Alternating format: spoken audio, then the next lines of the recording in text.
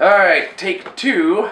Uh, because somebody unplugged the microphone the last time we were recording this. Let's make sure it's good. Okay, because I don't want to record this for a third time. Yeah. So once again, welcome to Daredevil Reviews, take two. Yeah. Uh, episode four, Penny and Dime. Uh, this is the. This is why I hate doing retakes. It's because I run out of steam the first time I talk about it. So I, hate, I hate to repeat myself. But anyway, no, I thought this was a really phenomenally good episode. At least, uh, like we both kind of agree, mostly towards the ending. Yeah, it's But I think I liked this more episode more than you did. Yeah.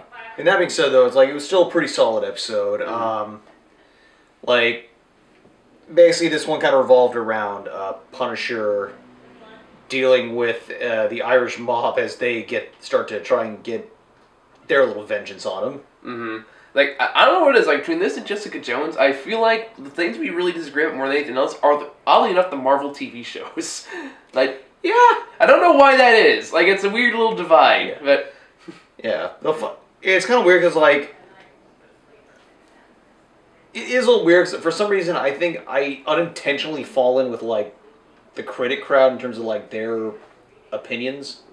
I mean, look, even critics like this season a lot. But Actually, no. Really? Like, Rotten, Rotten Tomatoes has got like a seventy-five percent. critics I've read liked it a lot. But more of it maybe just again different opinions. Yeah. But uh, I don't know. I think it's maybe just I think you just have like these higher expectations than I do.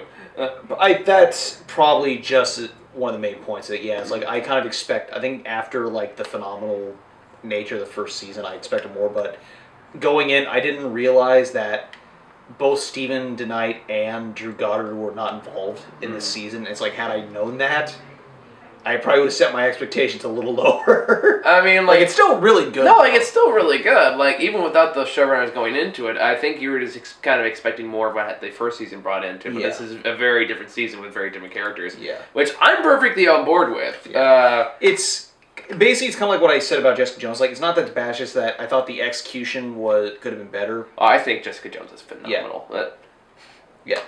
I will say I- this though, Jessica Jones is definitely better in the second season of this. I will. I just. I mean. I usually go, okay, fair enough. Respect to Joe's opinion. Jessica Jones is the one thing like, no, you're fucking wrong. I know, I know. I try not to do that, but this is one of those things like, no, you're just wrong. Uh, you just got to live with that. And one day you'll see I was right the whole time. And you go, oh my god, I had not seen it before. Then you'll have to live with those other critics who just very, very, very differently say it's only slightly better to like point one. Wait, what? I didn't catch a word Sorry. of that. I was just kind of making a joke, but it's about like how the difference in terms of like scoring for Daredevil and Jessica Jones is like so minuscule. I mean, like, Like- I'm not saying it's like. I mean, in my opinion, it's better than Daredevil season one, Yeah. but Yeah, it's, it's one of those things. Like I know people kind of have their preferences, but like we can, like they're both good though. But uh, like I said, I think we can both agree that's well, probably down the road that season two is nowhere as good compared to the like both those. yeah, I'll agree on that. Uh, but that being said, I still find this very enjoyable. Back to that kind of segues back to the actual episode.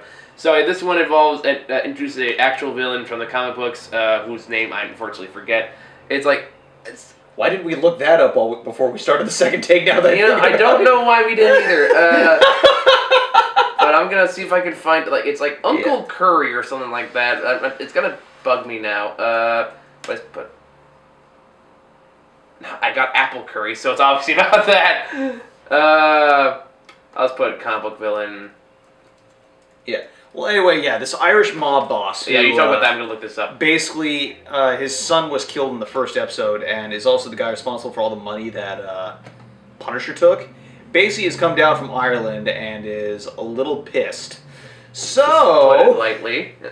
he uh, decides to uh, capture the punisher and torture him so he can until he talks and so they eventually find a place where the punisher uh, supposedly his family was killed Yeah. I'm listening. Keep going. Yeah. Um, you know, so while Punisher's there, kind of having a bit of a flashback, um, he gets approached, and basically everyone tries to take him down. Like even with serum and or like this drug to knock him out, and like crap ton of tasers, they uh, it takes a lot to bring him down because he is a uh, he's a man on a warpath, as those of you who know the Punisher know. God, this is gonna drive me crazy. I, I'm gonna find this motherfucker. I just it's gonna bug the shit Yeah. out of me. Huh. Um. Meanwhile, uh, is there even really anything? Well, you got Okay. Karen trying to track Yeah, down the Punisher. Karen's yeah, Karen like based on some leads that's been going on with like the previous episode or the stuff she got. she's trying to get a better understanding of who he is, so she finds his house and actually starts in a little bit of a investigation of her own.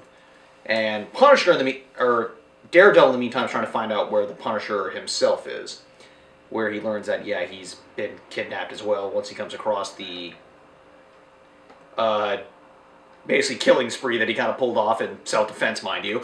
Uh, Uh, I'm not finding it. That's okay. I'll, if I if I remember like between now and the next episode, I'll say it. But anyway. yeah. Uh, but no, like this, it all accumulates, and like I think I said this in the last take we did. It was like I just love. Uh, I was call him Shane because that's the only name I remember him by. Yeah. Uh, I just love the, what he brings to the table as far as the Punisher goes, and just how goddamn intense he is in every scene he's in. Yeah. Like even even when he's just sitting on a damn park bench looking at a carousel, he's still the most intense motherfucker in the room. Because he just has like these dead eyes. These dead eyes as I'm just gonna I'm I'm gonna find somebody and I'm gonna murder them. That's just uh, honestly like even though he's like a vigilante character, he's basically a serial killer. Yeah. Uh, which is pretty. It's pretty true to the comic book character. Although the comic book character plays more of like an anti-hero angle. This one's like no, he's kind of he's more the little psychotic. Yeah. Uh, and like I said, you can take five tasers and just be okay. you take tasers and like a tranquilizer and still have to like the strength to point a gun at you. Yeah. Ah, found him. Finn Cooley. F- uh, Cooley, that was it, not Curry. uh, like uh, Uncle Finn, that's what they call him, Uncle Finn. Uh, that makes sense now. That was it adventure time? It's time for you to die.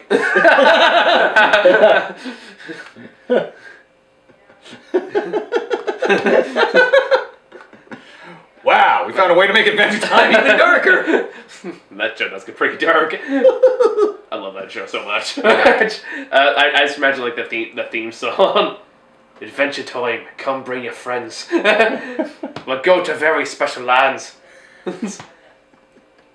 With Finn the mob boss and Frank the dog. the fun will never end. Adventure time! Anyway.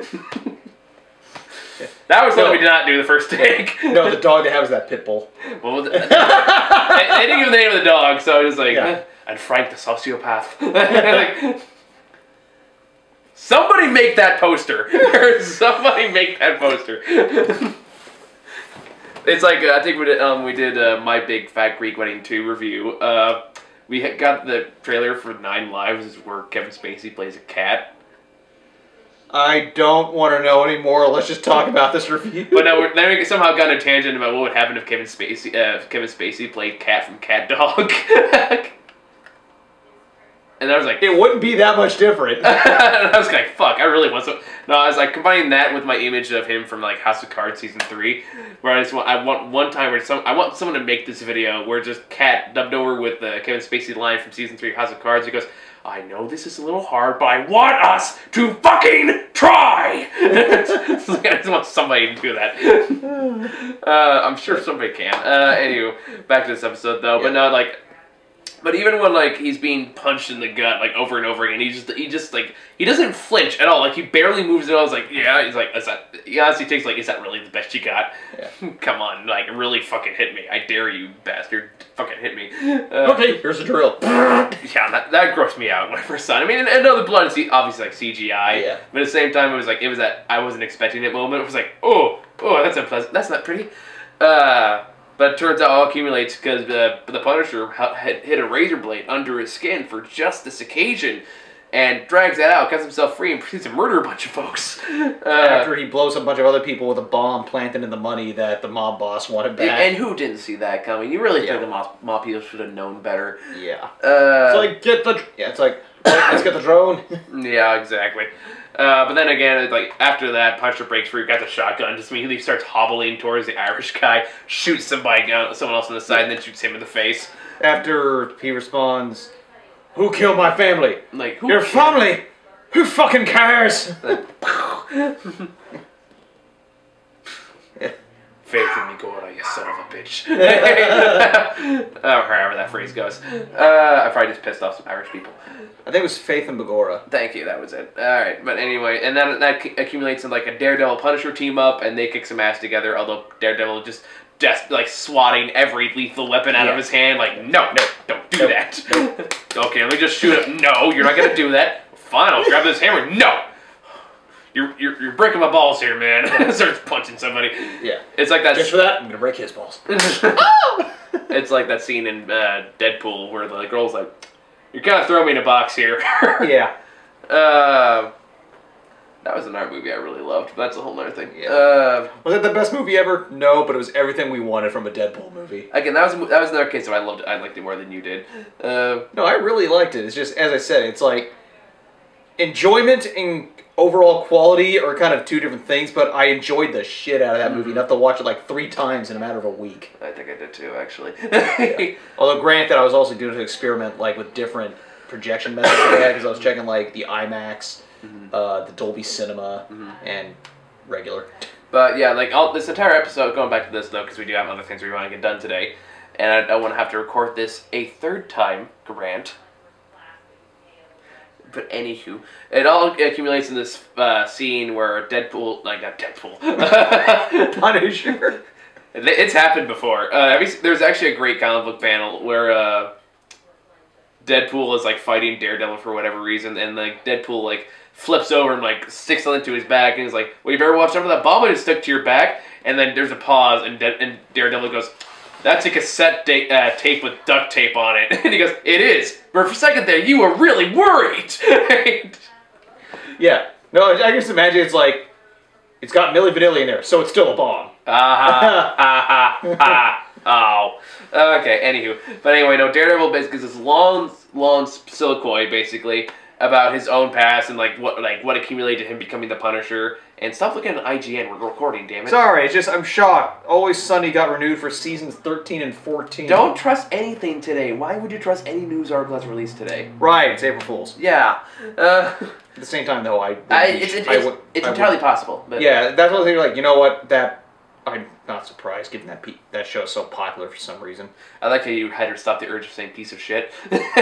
Uh, I'm not a fan of either. But hey, back to Yeah. the show. Back to this. We're, we're getting way off track here. Yeah. Uh, but so it leads into this, this quite frankly, like the best speech the show has ever Yeah. had, and I almost feel like it's the entire reason they decided brought Punisher in for this season. Was like somebody wrote this incredible speech. It's like we have to find a way to Yeah. justify putting this in here. And if, if honestly, if I found out that was the reason for a lot of the choices this season, I'd be hundred percent okay with it. Because this is speech is like, and the performance given with it, it's honestly more the performance than the written speech that is like easily the best thing the show has done so far Yeah. in my opinion. Uh, like it- it's it's like right up there with the Kingpin's, you know, I I don't know how to pray speech from season one. Yeah. which is like my I think my favorite speech of that season. Uh, but uh, it, it just it's the way he tells and the way he just like you could tell he just visualizing it perfect in his head. And he just starts breaking out into tears. Yeah, talk Eh. about basically what happened when he came back from war, meeting his family, and like kind of leading up to the day that Mhm. Like his family died. Just kind of like the regrets he had about not. and reading her story the day before she Yeah. ended up dying. Well, even then, how he's just describing like how she like it's the joy and the pain that comes exactly with it. Like when he's Yeah. talking about how uh, he can't he like visited his daughter at her school and she immediately like ran up to him at, like when he got home from the war. I thought no, I think it was his wife because his wife was teaching.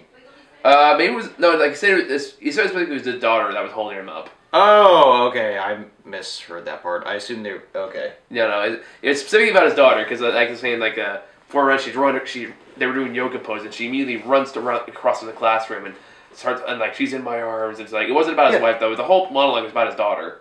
No, I think the opening was his wife, and then it transitioned to his daughter. Maybe, maybe. Because like, why would a young? It's like I don't think a daughter that young would probably be doing yoga. That sounds more like something an adult would do. Uh, no, because they were saying like they said went to like a kindergarten or something like that. What kindergarten has their kids doing yoga? This one apparently. Yeah, no, Uh, I'm, I'm pretty sure it was his wife at first. Then he went to the daughter. okay. Do do you want do you need to like pause this and like resolve this right now? No, let's just get this damn thing over done. well, I want to know now because it's gonna bug me. Uh, so watch every, whatever Yeah. video we do next. We'll Yeah. just watch, Watch it. Go, ha! I was right. Yeah. Uh, you bastard.